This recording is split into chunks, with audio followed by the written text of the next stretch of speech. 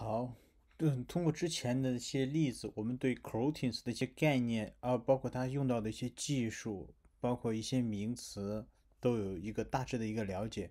然后我们也知道，对于在 Kotlin coroutines 之中，呃，如果我想声明一个呃 coroutines，其实你只需要使用这个 suspend 去声明它就可以了。但是如何去运行它呢？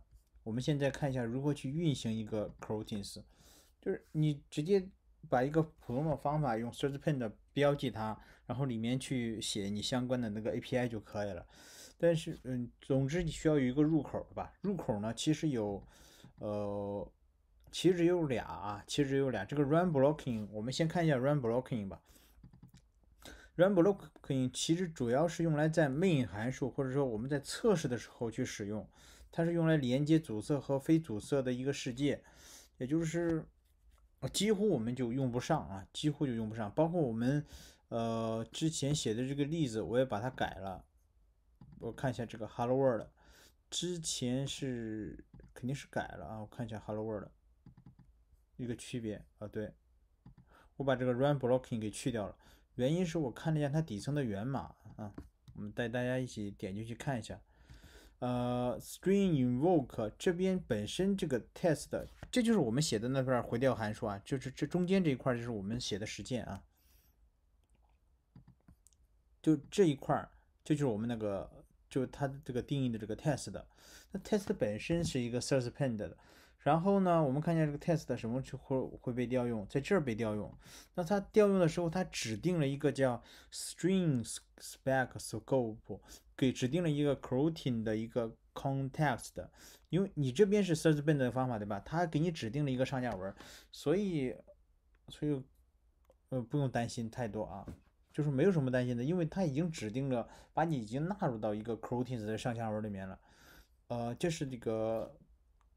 就是这个测试框架，它它做的啊，它已经做好了。所以如果你是只是在 main 函数里面去执行这段代码，你还是要加一个 run blocking。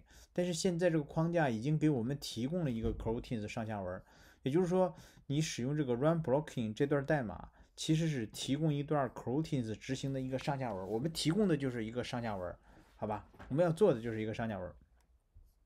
这个那既然它已经有了，所以就不用了。那我们直接运行一下看效果吧。debug，我这边加了一个让它暂停五秒，就目的就是说它正常会打印四条嘛，对吧？如果说哎你这五秒我没有去等的话，那它其实只会打印前面两条或者呃三条什么的。但事实上它打印了四条，对吧？main 开始 start finish，然后 for fake start，然后。finish，这就这就 OK，那这种效果就达到了。所以 run blocking 我们几乎是用不上的。好，那这个我们就先过了，好吧？这个先过了。然后文档我们继续看 launch 和 async 方法。这个 launch 和 async 方法，launch 准确的时候我们一般是这么写，叫 global scope 点。先不先不去聊这个 scope 是什么，它基本上是这么去写。嗯，然后 async 呢是这么去写，嗯，这俩的之间的区别，那我这大括号就不要了，好吧？这个反正都是 function。async 呢是有返回值的，而这个 launch 呢没有返回值。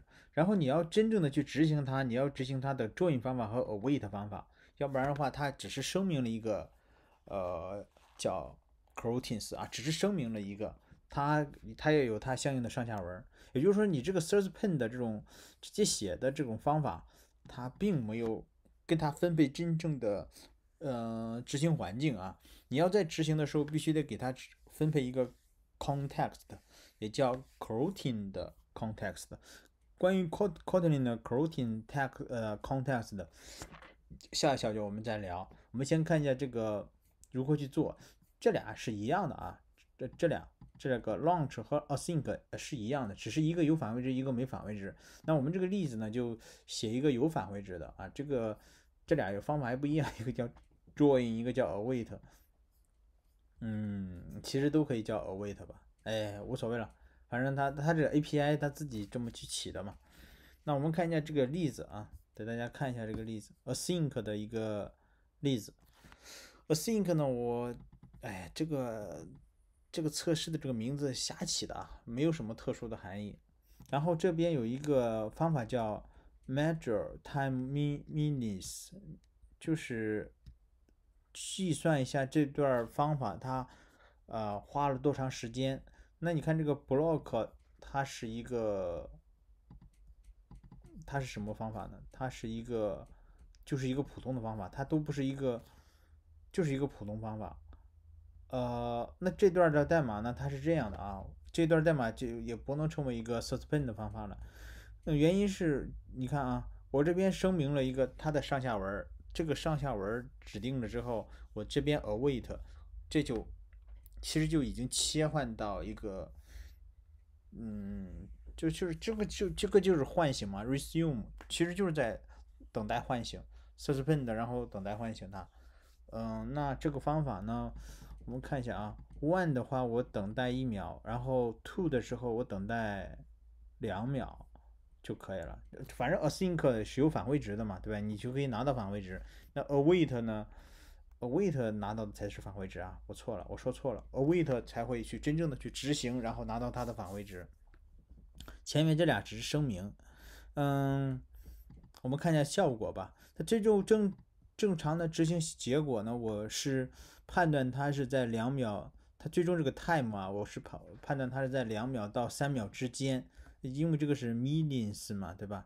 呃，mills，呃，这个 mill 是什么？是等一下啊，呃，mi millisecond，学学个学个单词啊。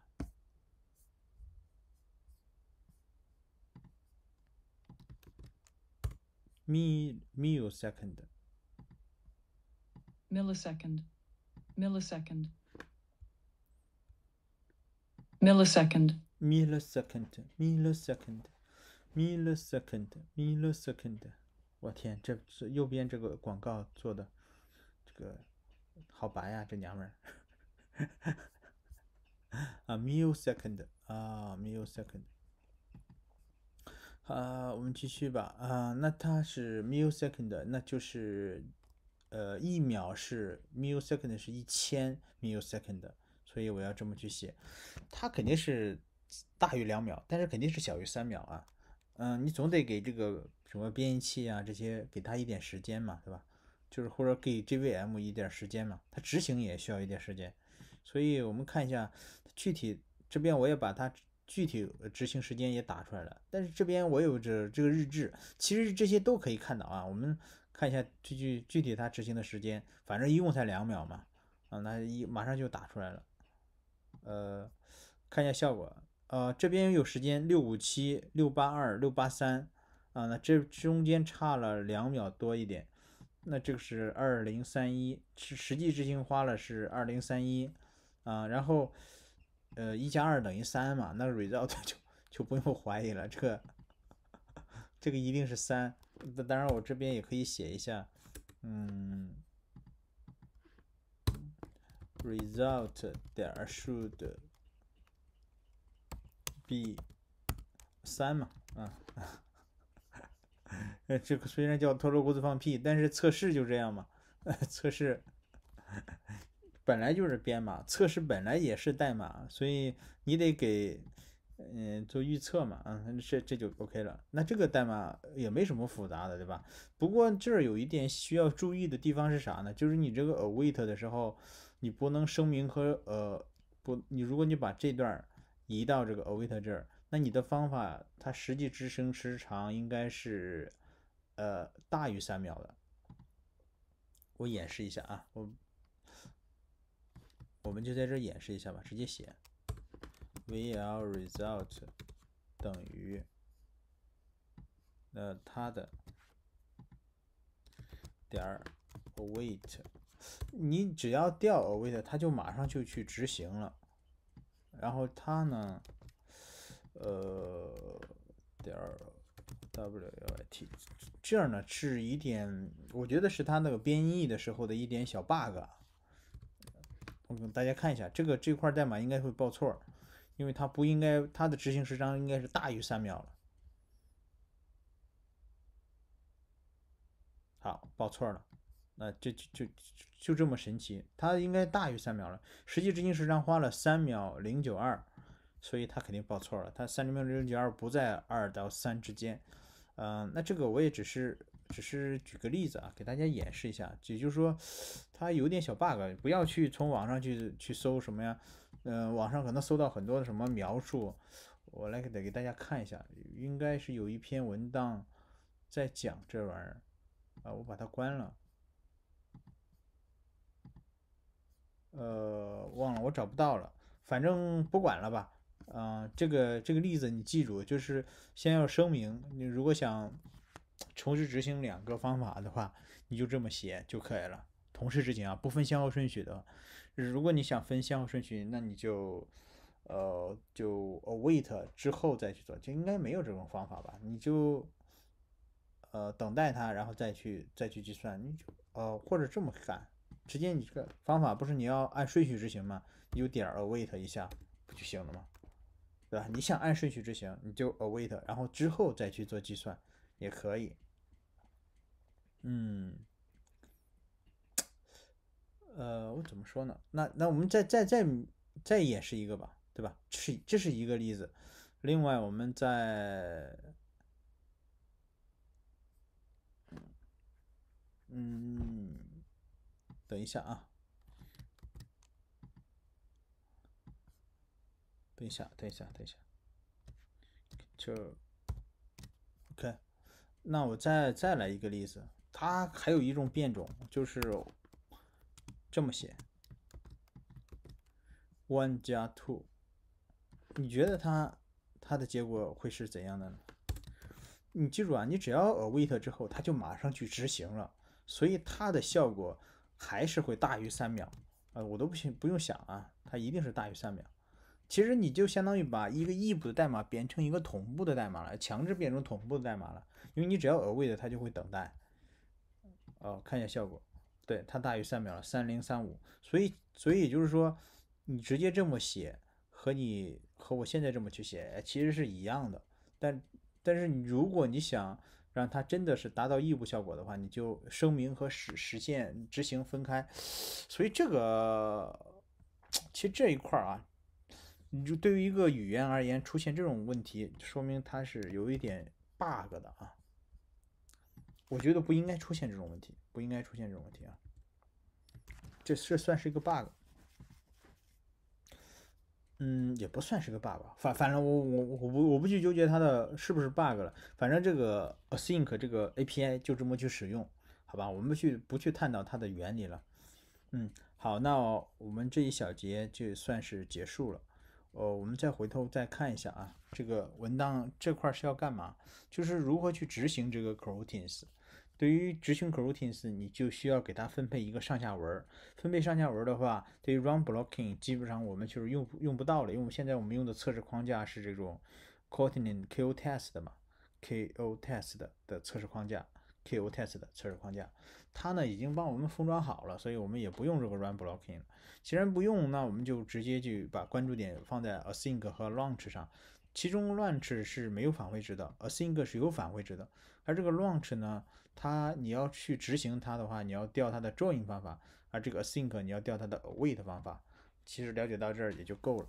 然后后面的至于是是先调 await 还是后面再去调，这个你就多做测试你就知道了，好吧？这个不不去区分这几种写法了，就是这相当于我觉得这这相当于写什么呀？回字的有几种写法，这无所谓，对吧？我们学习的时候其实我觉得后。时间久了，你也不会记得说啊，这个我不可以直接点 await 啊，这种这种这种很容易让人造成误解的东西呢，就靠测试来保证就完了。好，那这小节结束。